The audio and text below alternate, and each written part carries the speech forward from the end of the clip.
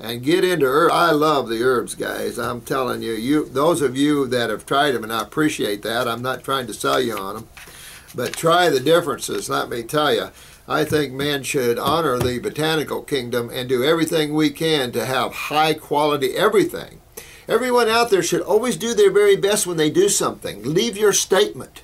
Leave, leave the best. I did this. It's good. Not from an ego standpoint, but from look, I, I made God, I made it better.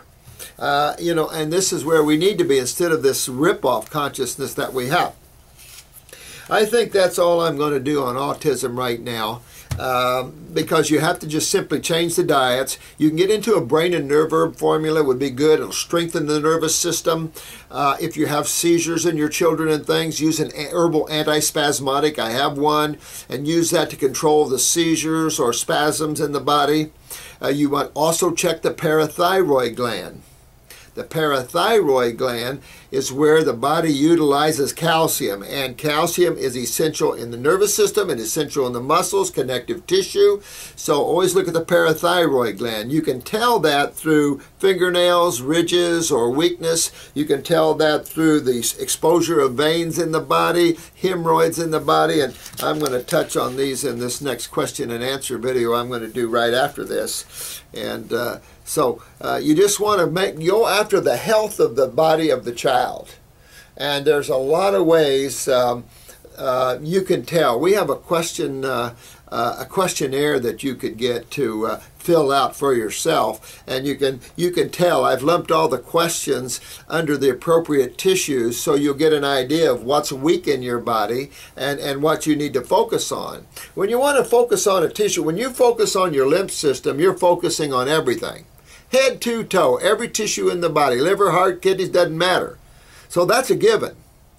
Uh, always clean up the GI tract. That's a given in health.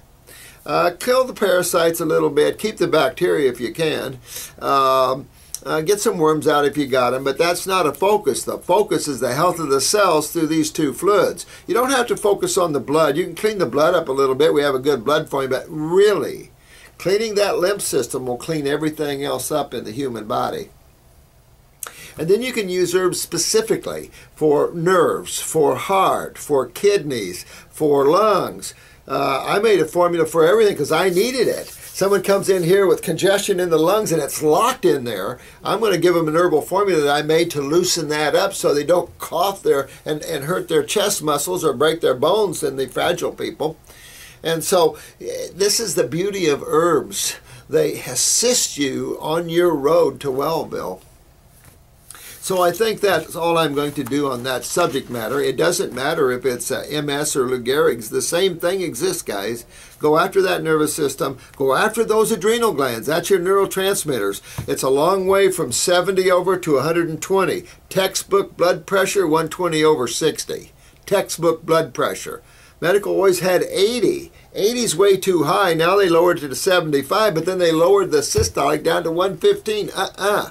120 and you will feel good.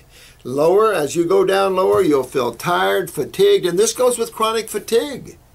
Go after your nervous system, and the adrenals are the key. You can get up in the head and go after the central nervous system. Yeah, yeah, yeah.